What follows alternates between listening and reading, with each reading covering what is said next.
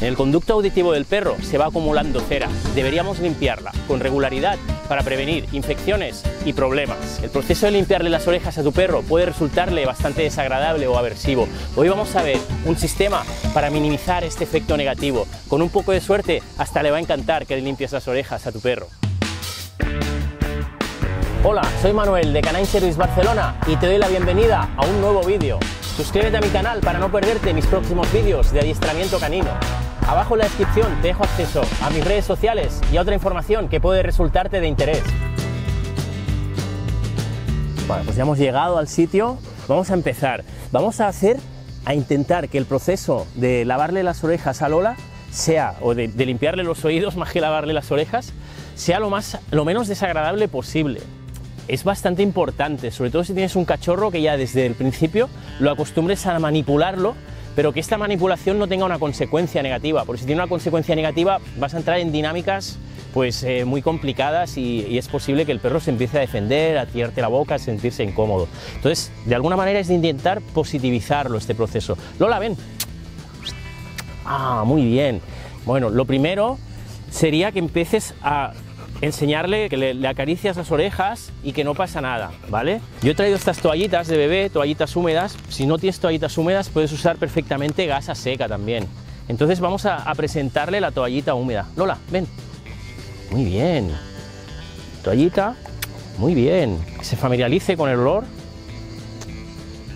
Muy bien. Muy bien. ¡Ah! ¡Bravo! Con un premio en la mano lo que vas a hacer es redirigir la atención del perro hacia el premio sin dárselo y meterle el dedo dentro de la oreja. Le metes el dedo hasta donde llegue. Tienes que meter un poquito dentro. Muy bien, Lola. Ah, fíjate cómo va a salir la cera. Y le das el premio. ¡Ah! ¡Bravo! Dame. Se trata que la experiencia sea lo menos desagradable posible. Vamos a hacer ahora la otra oreja. También es importante, cada oreja tiene una gasa, por si hay un principio de infección o algún problema en una oreja, no pasarlo a la otra oreja. Igual, vamos a hacer un poquito de, asociación primero. Entonces, opcional, hay productos limpiadores, ¿vale? Esto te lo recomendará tu veterinario. Pones un poquito dentro y aquí lo que has de hacer es enseguida tapar la oreja y hacer masaje. Haces masaje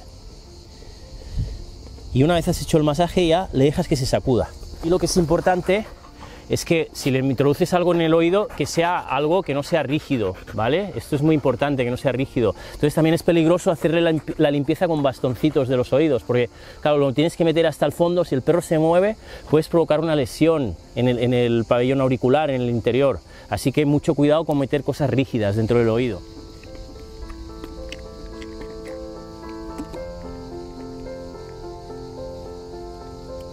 Y ya por último vamos a pasarle una gasa para quitar cualquier resto de cera que haya podido quedar.